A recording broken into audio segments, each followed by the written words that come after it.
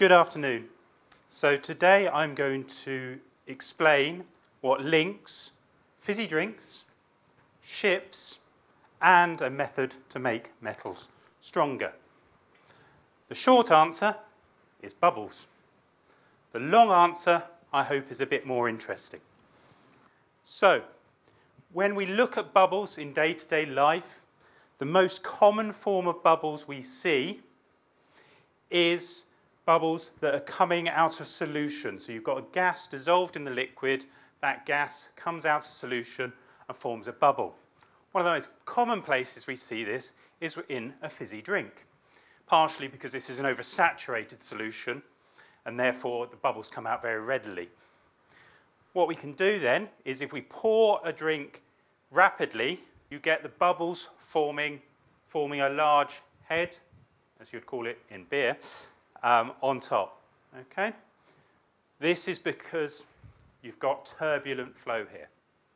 If, however, we pour it down the side of the glass gently, we do not get bubbles forming, or we get a few bubbles forming, but we do not get the foamy head that you generally see with a turbulent flow. So this is what we call laminar flow is the reason for this. So the laminar flow versus turbulent flow.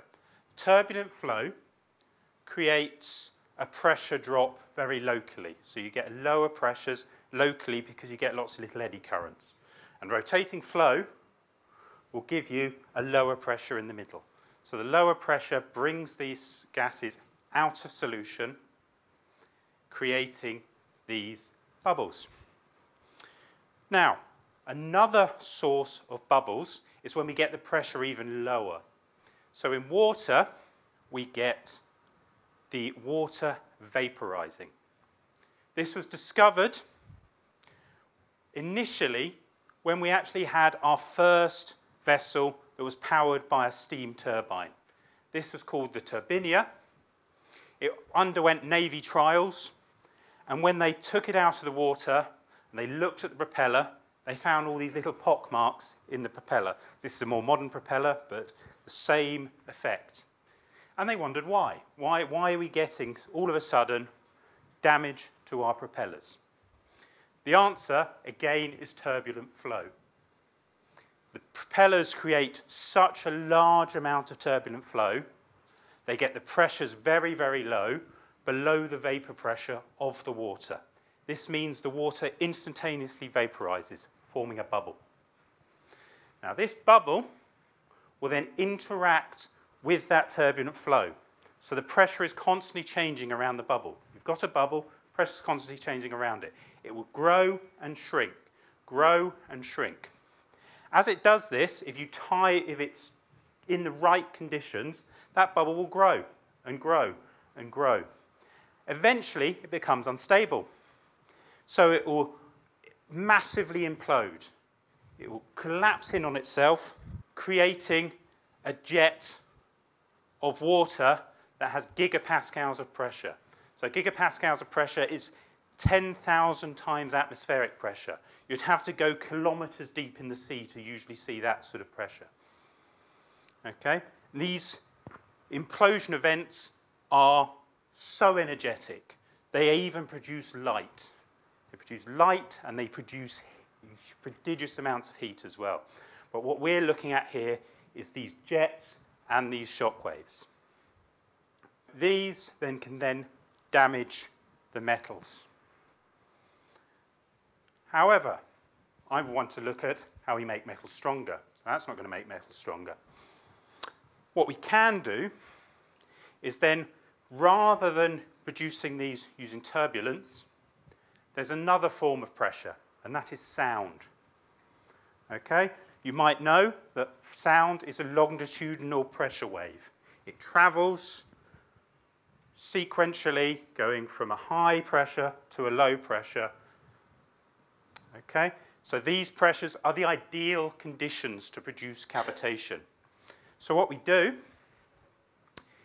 is we introduce these sound using what is known as a sonotrode. So here on the left, you have some experiments we did with Imperial College where we are looking at breaking up of clusters of carbon nanotubes using this technique. So you can see this bubble cloud at the top. You've got some stirring going on due to these introducing of the bubbles does actually also introduce the acoustics, introduce what's known as acoustic streaming. But what you get is all the bubbles are generally focused around the sonotrode. This is because you get something known as acoustic shielding. The bubbles change the material properties of the fluid. So the, the sound waves can't penetrate as far. This technique is used in industry all the time for things like ultrasonic cleaning. It's used in chemistry to speed up chemical reactions. It's used in things like this, breaking up carbon nanotubes to make metal matrix composites and other composites. But what we want to look at then is how this uh, is used in metals. Before I do that, I probably need to tell you a little bit about how metals form. Metals usually form through what's known as dendritic solidification. They start as crystals. So here, you can see this animation. This is a metal growing around the University of Greenwich logo because it was a fun thing to do with our simulations. You've got these individual crystals grow up. Each color is an individual crystal. These crystals, when they meet, cannot merge, okay? Because they are at a different angle. These crystals, they grow from a nucleus. So you start with a seed, and they grow like a tree, essentially. They grow up. They always grow, in the case of aluminium and a lot of metals, perpendicularly to each other, because these are cubic centered metals. Okay, so they're always growing perpendicular to each other. They're always at the same angle or 90 degrees to that angle. When they meet, the surface energy is such that they cannot merge. So this forms what we know as grains in metals. To make metals isotropically strong, so that's a big word, so strong in all directions. We want them to be uniformly strong in all directions. We want very small crystals. Okay? To get more small, get smaller crystals, we want more crystals. So therefore, we want more of these seeds. We want some nucleation sites to form these crystals. A common way to do this in industry is to use what's known as a grain refiner. These are powders and microscopic or even nanoscopic particles that act as the nucleation sites that are introduced into the metal. The problem with this is that means we can only recycle that material with other materials of the same type. It becomes very difficult. We can, that means we'd have to separate 50 different types of aluminium because they've got 50 different types of grain refiner.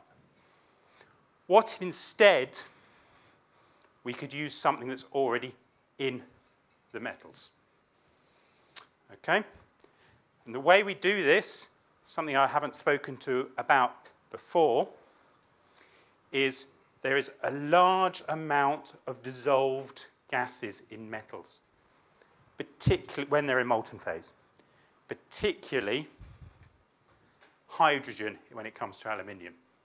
When we produce aluminium, aluminium is a very reactive metal. It reacts with the water vapor in the air. This does two things. It forms an aluminium oxide layer on top of the aluminium, and it also produces hydrogen. Okay? That hydrogen dissolves in the aluminium. This can be a problem when we go to cast that aluminium because the bubbles will come out as it solidifies. This leads to what's known as porosity. We get lots of little bubbles in the solid material. Hopefully, I don't need to explain why that might be an issue. When we do that, we get those two issues. And then the oxides can also get introduced into the melt. they're what known as oxide inclusions. So we've got this hydrogen. So rather than vaporizing, we go back to the fizzy drinks and we take that hydrogen out of solution using the ultrasound. The reason for this is to get down to vapor pressure of a metal is incredibly difficult. We wouldn't really get there unless we were having a very high temperature or even lower pressures. So instead, we create the bubbles from the hydrogen which is in the melt. This has two benefits. One, we remove the hydrogen.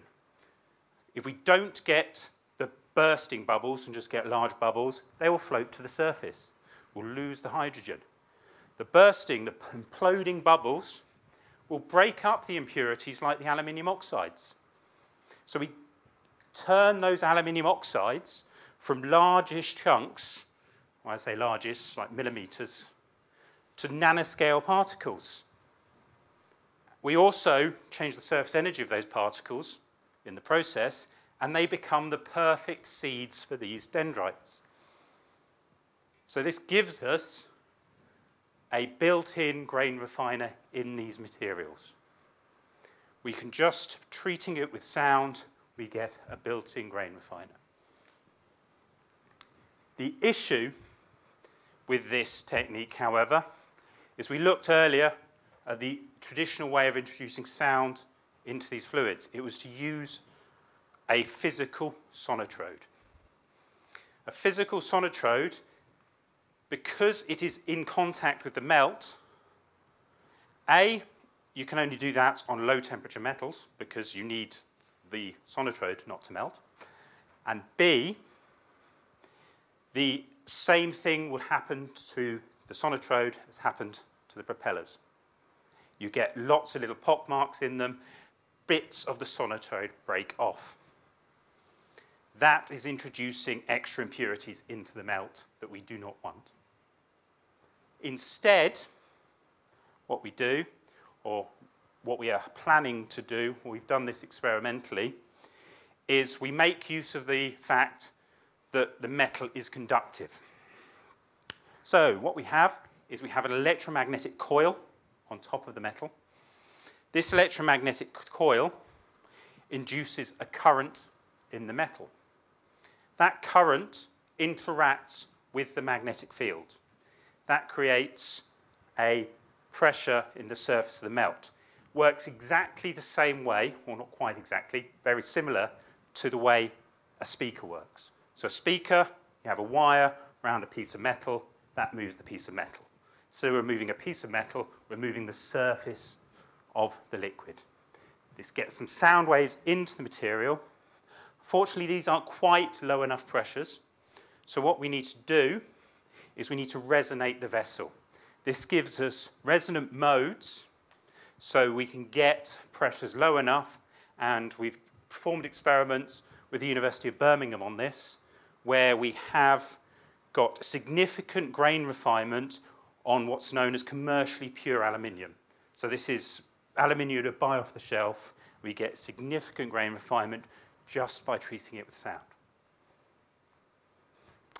So, Hopefully, I've given you a bit of a potted history there of how and why bubbles can strengthen metals. You might be wondering, well, why? Why, why do we want to strengthen metals? You'll notice I've been talking a lot about aluminium. Aluminium is what's known as a light metal. It's a lot lighter than steel. But it's not usually as strong as steel if we can change the structure of these metals to make them nearly as strong as steel, we can reduce the amount of steel used in an aeroplane. That will reduce the weight of the aeroplane. That means that we can use less jet fuel.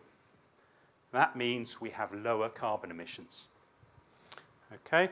We want lighter metals to get lighter metals usable in more situations, we need to have stronger light metals.